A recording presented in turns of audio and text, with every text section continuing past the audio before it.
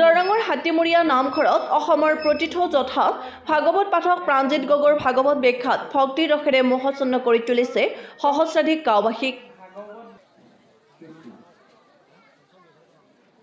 বৃহত্তৰ হাতীমূৰীয়া অঞ্চলটোৰ দুশ বছৰীয়া পুৰণি নামঘৰটোৰ প্ৰতিষ্ঠা দিৱসৰ দিনটোত এনেদৰে ৰাজ্যখনৰ স্বনামধন্য ভাগৱত পাঠকগৰাকীৰ ভাগৱত ব্যাখ্যাত যুৱক যুৱতীৰ পৰা বৃদ্ধা বৃদ্ধলৈকে সকলোৱে বন্দিত হৈ পৰিল কিন্তু মুখেৰে আমি কৃষ্ণ কৃষ্ণ বুলিয়ে কওঁ কিন্তু হাতে কাম? সিদ্ধান্ত দিছে বধাৰপু মাধৱদেৱে বচনে কেৱল মাত্ৰ হৰিত শৰণ লয়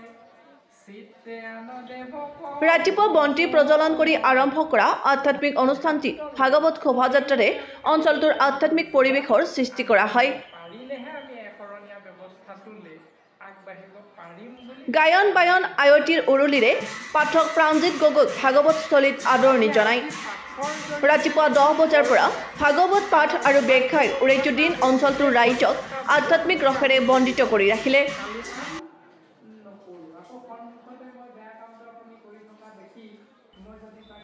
নিশা স্থানীয় হাতীমূৰীয়া উন্নয়ন সমিতিৰ সভাপতি জলতিৰাম নাথে উদ্বোধন কৰা অসমৰ সম্ভ্ৰান্ত লোককৃষ্টি পালনাম প্ৰদৰ্শনেৰে আধ্যাত্মিক অনুষ্ঠানটিৰ সামৰণি পৰে।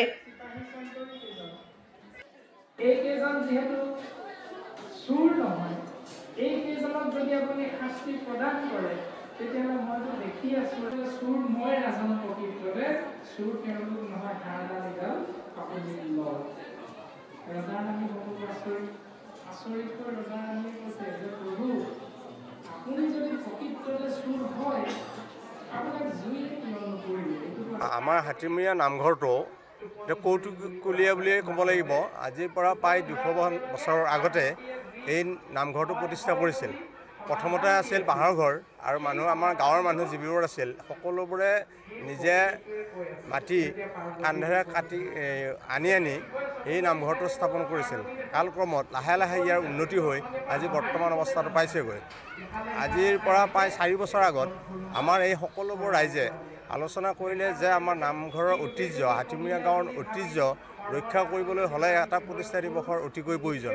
আৰু সেইমতে আমি বাৰে বঙনীয়া সাংস্কৃতিক অনুষ্ঠানেৰে ভাগৱত পাঠৰ জৰিয়তে আমি যোৱা চাৰিটা বছৰ তিনিটা বছৰ আমি নামঘৰ প্ৰতিষ্ঠাৰ উৎসৱটো পালন কৰি আহিছোঁ দুদিনীয়া কাৰ্যসূচীৰে। কিন্তু এইবছৰ হায়াৰ ছেকেণ্ডাৰী পৰীক্ষা আৰু মেট্ৰিক পৰীক্ষা একেলগে হোৱা হেতুকে আমি আজিৰ অনুষ্ঠানটো এদিনীয়াকৈ কৰি সমাপন কৰিছোঁ।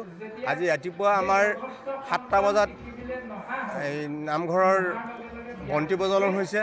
তাৰপিছত বন্তি প্ৰজ্বলন কৰিছে দেউৰী কমলেশ্বৰ নাথে তাৰপিছত ধৰ্মধ্বজা উত্তোলন আমাৰ মাননীয় সভাপতি তথা এই আমাৰ ৰাষ্ট্ৰীয় পুৰস্কাৰ প্ৰাপ্ত কীৰ্তি শিক্ষক মাননীয় লোহিত চন্দ্ৰ নাথ আমাৰ নামঘৰ প্ৰতিষ্ঠাৰ সভাপতি প্ৰতিষ্ঠা দিৱসৰ তথা নামঘৰ উন্নয়নৰ সভাপতি তেখেতে ধৰ্মধ্বজা উত্তোলন কৰিছে। তাৰপিছত আমাৰ স্মৃতিচাৰণ তৰ্পক এটা অনুষ্ঠান হ'ল।